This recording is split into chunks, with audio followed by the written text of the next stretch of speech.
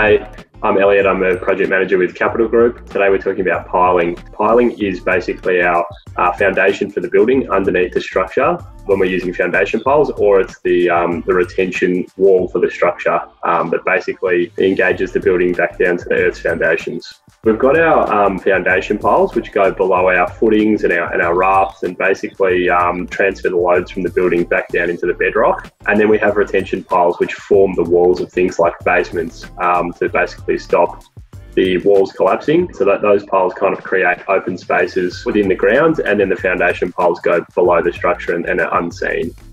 So the pile foundations in terms of depth will vary from project to project or um, ground condition to ground condition, and um, it will also be based on the loads of the building. So the pile will basically be deep enough to transfer the loads of the building down into the founding rock material that is particular to that site or particular to the actual loads of that building. And then the retention piles that we would use would be deep enough to just ensure that they can retain the amount of earth um, that would be in that basement or that floor level above.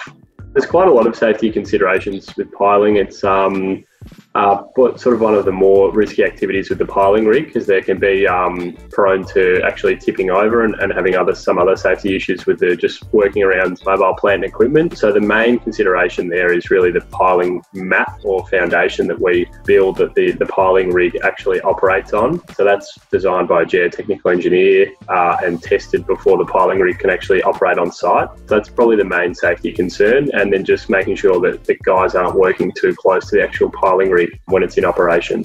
Some common problems with piling, one that we've just come up against recently is just the uh, the tolerance of the pile over the depth. Uh, we're building a basement which has a car stacker inside it, and it's very tight in terms of the tolerances for the actual space inside the basement. So those piles that we're doing are at 13 to, to 16 metres deep, and the issue is the actual angle of the pile as it's installed. So what we've done, or what our um, subcontractor B&R have done in that instance, is build a, um, a guide wall for the pile, which is basically just a concrete template at ground level, which guides the pile in the correct direction for the length of the pile to make sure when we get down into the bottom of the hole, we don't have any tolerance issues.